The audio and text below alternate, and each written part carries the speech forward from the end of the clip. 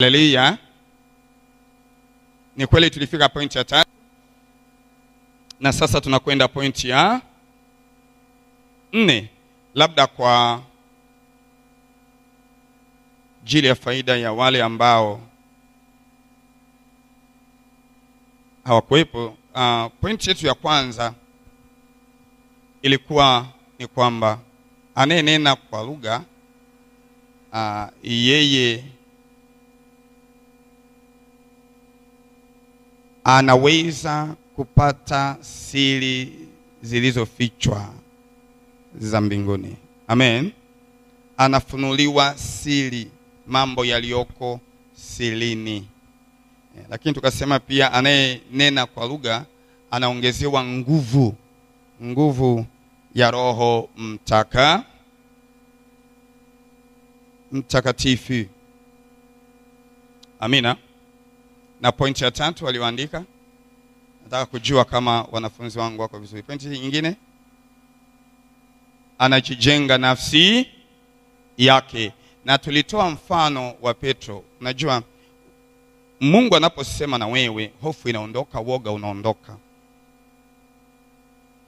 Lakini ikiwa unakwenda mbele za Bwana kila wakati, utasimama popote na kusema Yesu ni Bwana, Yesu ni mwana wa Mungu, Yesu ni Mungu.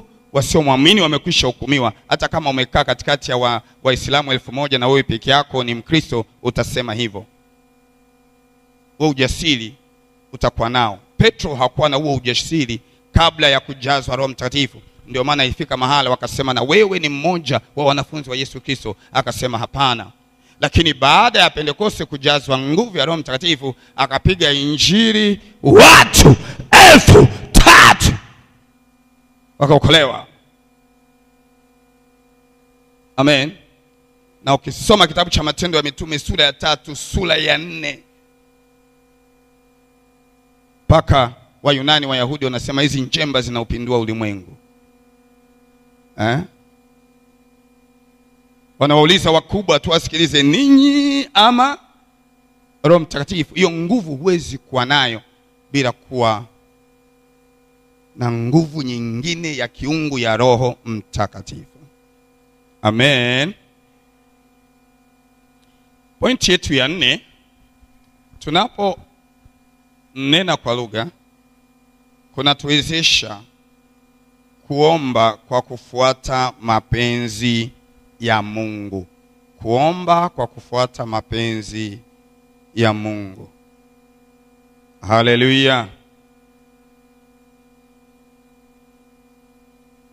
Biblia inasemaje katika Warumi?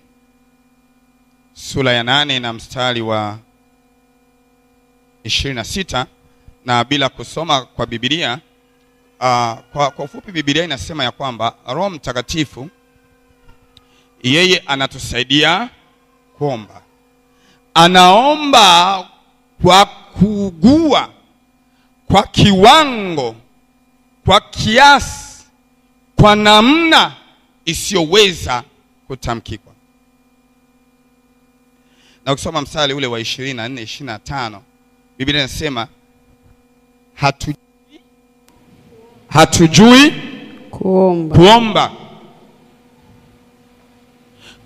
Warumi nane,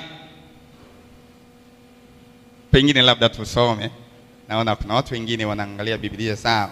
Warumi nane, soma mstari wa ishirini na nne ishirini na ishirini na Mungu sita linasema, neno la Mungu linasema Biblia inasema kwa taraja, lakini kitu kilichotarajiwa kikionekana, hakuna taraja tena.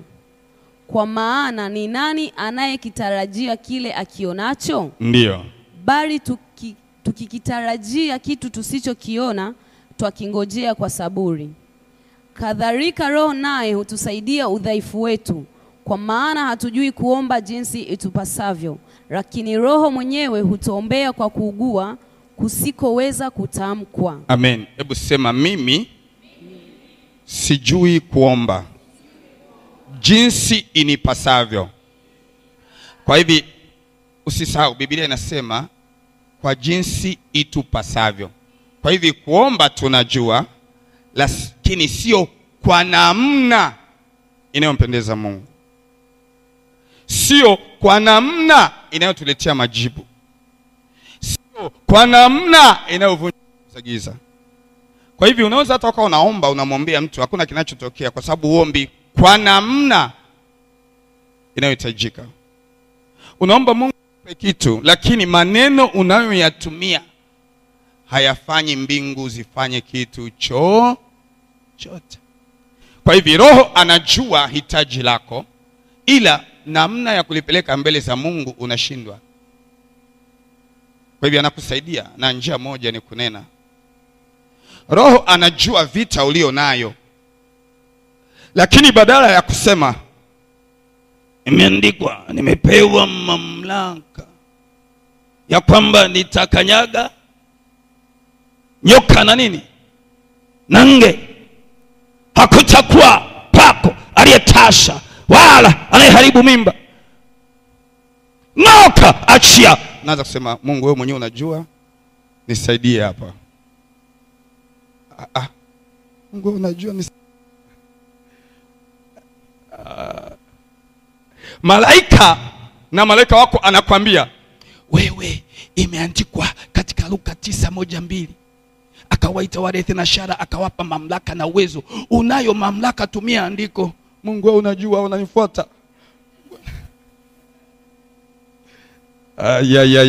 Kwa hivi Roho anachukua ile nafasi katika kunena kwa lugha.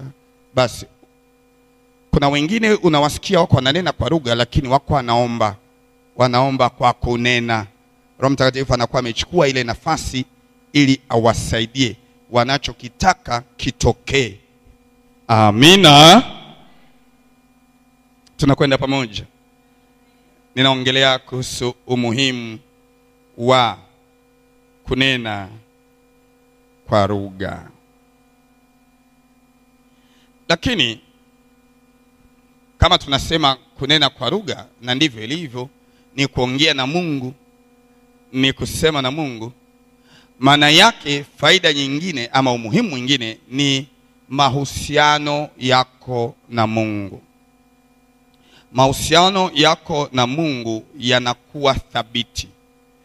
Unajua kitu ambacho ni kikubwa mwanadamu alikosa alipotenda dhambi ni kutengwa na Mungu. Kifo kilitokea kwamba roho wa Mungu akawa haishi tena ndani ya mwanadamu.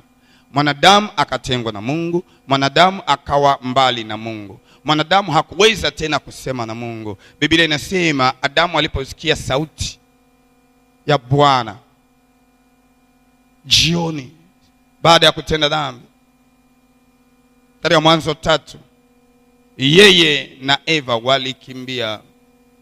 Amen hawakuwa tena hata na ujasiri wa kuongea na Mungu. Lakini katika kunena, Mungu anakuwa rafiki. Nimewahi kufundisha hapa nikisema, nani huwa anaamka asubuhi na anamwambia Roho Mtakatifu good morning? Amen.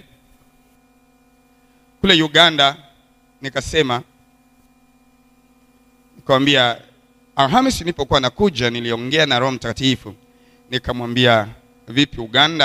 Roho Mtakatifu akaniambia mimi sizuiliwi na mipaka, moto tu. Haleluya! Sasa nikawa naona kama watu wanashangaa hivi. Yes, you can talk to the Holy Spirit, unaweza ukaongea naye. Biblia inamtaja Roho Mtakatifu kama nafsi hai, kama mtu unayeweza kuongea naye, ndiye unayeweza kuongea naye kila wakati na ndiyo maana hata katika kunena Paulo katika Wakorinto uh, ya kwamba wanaponena watu wanene wawili ama watatu, wasinene wengi kwa pamoja, ama awepo mtu anayefasiri. Maana yake kuna utaratibu. Unaweza kumwambia Roho Mtakatifu, subiri Happy Dismas amalize, subiri hawa Fanki amalize, subiri Yohana. Haleluya! Nadhani wiki iliyopita nikasema unaweza ukawa huko kwenye daladala, kwambia Roho Mtakatifu, ah, niko kwenye daladala, Bunju Kariakoo. Subiri kidogo nipate nafasi. Ama kuna mtu humu unataka kumponya, kama yumo humu basi endelea, kama sivyo nipe dakika ishirini. ambia okay. Amina. Jamani, naongea na mtu hapa.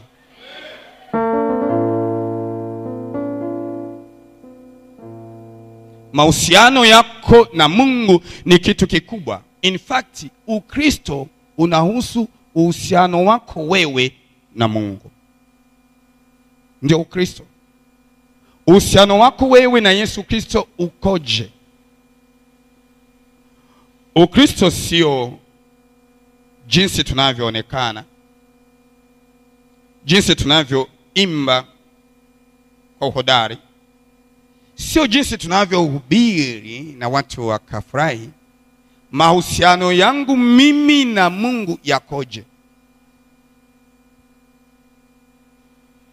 Huo ndio Ukristo, na watu watakaomwona Bwana ni wale ambao wana mahusiano mazuri na Yesu Kristo. Mtu ambaye unahusiana naye mzuri, utaongea naye vizuri, amen. Hutataka kumkwaza, anakuwa rafiki yako. Tunaimba Yesu ni rafiki yetu, kae mbinguni. Rafiki ni mtu ambaye una mahusiano naye mazuri. Wangapi wana mahusiano mazuri na Yesu?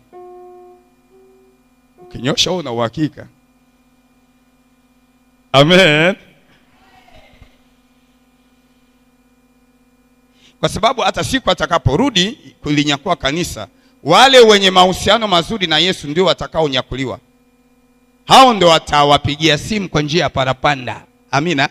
Hao ndio watasikia sauti yake kwamba rafiki, toka magengeni magengeni hakukufai tena, njoo, kuna ghorofa mia moja huku mbinguni, wewe uko ya tisini na tisa. Kwani hakusema ameenda kutuandalia makao? Wewe unafikiri mbinguni ni pako hivi hapajajengwa, tunatembea tembea tu?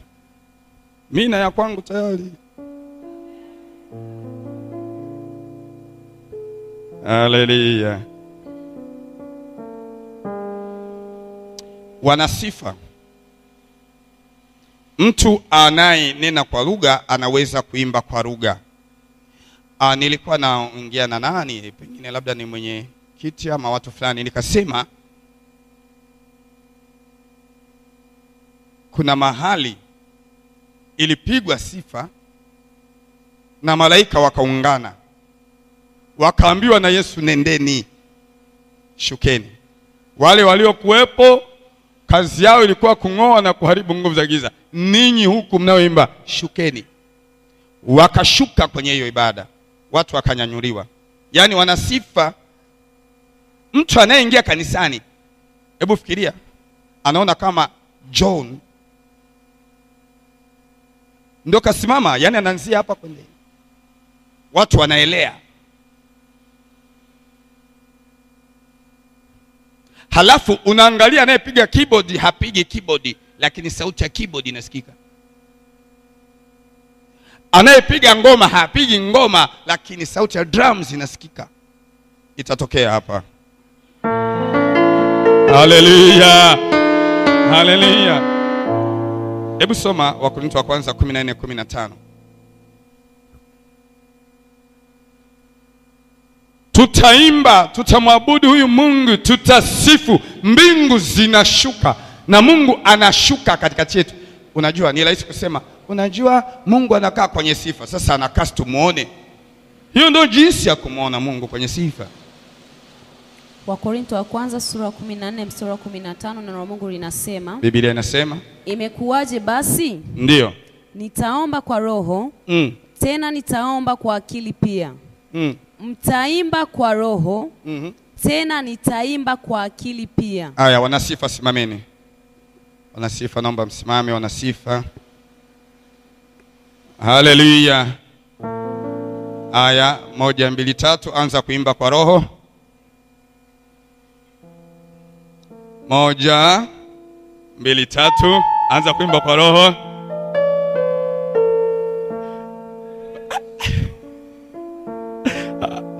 Sema hey!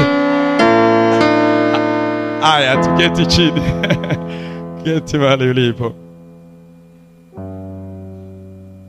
Nitaimba kwa akili. Alikuwa anaanza kuimba kwa akili.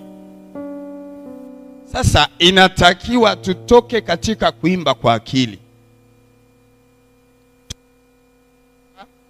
kwa roho, na watu watakapoanza kuimba kwa roho, hakuna angalia, sijui umeinama umeinama, ama kuna stepu ama ni sijui kuna kitambaa kimeanguka, kuna sauti ya tatu, mwingine sijui kaharibu. Hakuna atakayefikiria hilo, hakuna hakuna. Amen. Kwa hivyo ninamshukuru Mungu kwa kuwa nimeona mnaanza sasa kikundi cha sifa, mnakuwa mnaingia katika maombi. Hayo yataliwezesha kundi hilo kufika mahala mnaimba kwa dakika kumi ile ya kumi na tano mbingu zina tune zinawapeleka katika roho, na kianza, zikianza kuwapeleka katika roho, uvimbe mtu amekaa nao kule anaona damu zinatoka. Ukianza kuimba katika roho, unasikia mtu ambaye amekuja alikuwa anasikia katika miguu, anasikia miguu ina baridi, anaanza kurukaruka. Sema amina. Hatuji katika madhabahu kumfurahisha mwanadamu, tunakuja ili Bwana ajulikane ni Bwana, ni Yehova, na atende matendo makuu ambayo yanagusa ya watu. Kila tunachokifanya lazima kiwe na manufaa ya kiungu. Haleluya, amen. Step style sawa nyingi, ndio maana kuna kuna kikundi fulani hivi cha kinaitwa nini, gospel sijui nini, agape something kwenye YouTube naangalia, ama kwenye Instagram naangalia, wanacheza cheza, wanakatakata viguno, sijui wanafanya fanya eh? Mapepo matupu, mashetani matupu, mambo ya kuzimu analeta kwenye madhabahu ya Mungu. Yaani wewe unaweza kuimba katika roho ukawa unakata kiuno kama wacheza mziki wa dance, unaangalia na wengine kama waki, ukikosea unafuatia, unaimba umekuja kucheza nani hapa dance. Lazima tutoke kule. Hii ndio njia ya kutuwezesha. Mtu akiingia kanisani anasema yes, hapa kuna Bwana. Amen. Dakika chache mkianza kuimba kwa sauti za kibinadamu na akili zenu mnahama na watu wanabarikiwa. Haleluya. Sema tu hatukupewa mamlaka ya ku ya kukanyaga nyoka na nje, yani, yani kukanyaga kabisa mtu hivi au kupiga viboko. Ingekuwa ni hivyo eh? Watu wangepigwa viboko sana. Wanacheza na Yesu eh? Au uh, Roho Mtakatifu hajatupa ile hasira ya Roho kama ile, anamwambia yule Elma, Kip, unakuwa kipofu sasa hivi. Hasira ya Mungu sasa hivi uwe kipofu.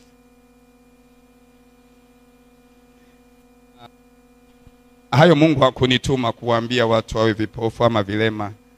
Wakati ule aliruhusu, maana ilikuwa kuna upinzani mkubwa e, watu walikuwa wanampinga hata Paulo kwamba wewe nini. Ndio maana kwenye Korinto wa kwanza kumi na nne akasema mimi ninanena kuliko mtu yeyote duniani, maana walikuwa wanapinga hata injili ya moto. Haleluya!